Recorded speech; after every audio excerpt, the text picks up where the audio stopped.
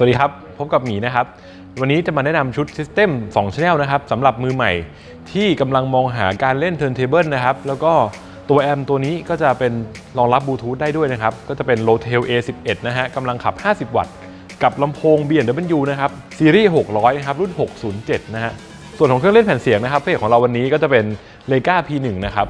ราคาอยู่ที่ 15,900 บาทนะครับสำหรับลำโพงก็อยู่ที่ 25,900 บาท แล้วก็ตัวแอมนะครับ Rotel A11 นะฮะอยู่ที่ 24,900 บาทนะครับสำหรับชุดนี้อยู่ประมาณ 66,700 บาทเนี่ยไม่ถึง 70,000 บาท ลงเส้นสายอีกนิดหน่อยเนี่ยก็สามารถรับฟังชุดฟังเพลงได้อย่างดีละเหมาะกับคอนโดหรือว่าห้องที่ไม่ใหญ่มากนะครับ แวะเวียนมาฟังกันได้ครับผม กับปีนัทแปดสาขาใกล้บ้านเลยครับ หรือถ้าจะมาหาผมก็ปีนัทฟอร์จูนทาวได้เลย เดี๋ยววันนี้จะมีคลิปเสียงลองฝากให้ฟังกัน